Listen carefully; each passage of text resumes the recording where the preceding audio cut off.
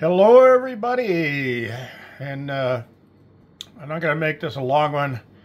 Uh, I just got some uh, messages from some of my uh, avid followers, especially Bill M., who is in Florida right now, and the hurricane is approaching and due to hit uh, tomorrow and Thursday and cover most of Florida. And he is directly in the path of the hurricane, but he has decided that uh, because traffic is backed up for five hours, that he was going to hang in and hunker down.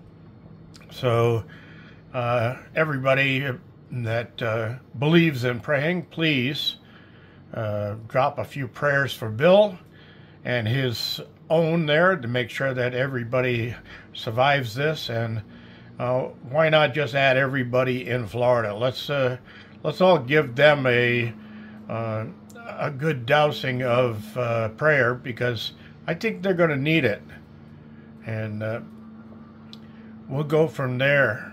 This is what I'm looking at right now here in the desert. Uh, humidity is going up a little bit, and uh, temperature still at 79 degrees. It's supposed to cool down pretty much tonight, but we'll see. It's nothing like the weather that those guys are facing. So, thanks for following me on this little one. This is G Bear signing off.